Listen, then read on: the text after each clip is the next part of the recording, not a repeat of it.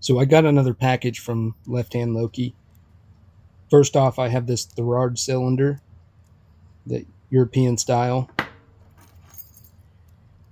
He also sent this one. It doesn't have a name on it. I'm not sure who makes it. The bidding doesn't look too challenging at all, but I'm glad to have it. And then this one is pretty weird. It has two pin stacks on there. Just a really bizarre key.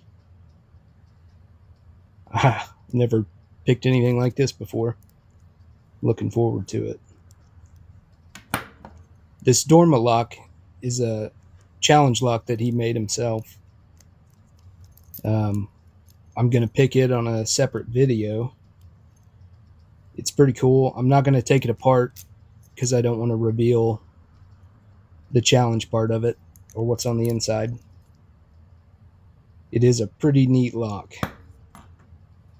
So in the spirits of opening a mail call, mail package, I'm going to try to pick one of these on camera. The only way I know how to do it is just kind of randomize it here.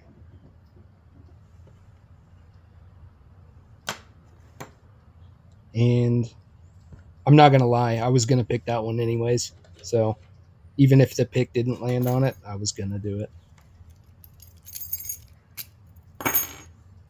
I'm using a 40 thousandths turning tool and just a standard short hook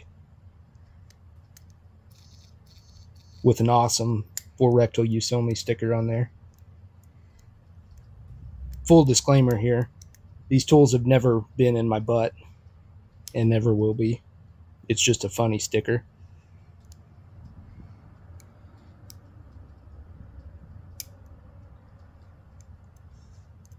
I'm really I'm really liking these European style cylinders. They're they're pretty neat to work with.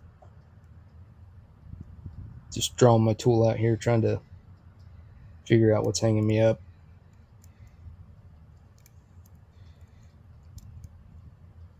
By the way, I got poison ivy in my eyes, so that's great. It's just extremely itchy irrelevant to anything going on in this video. I just wanted to share. Well, I got that open, so I appreciate you watching. So thanks again, Loki. I'll do a video on this challenge lock next.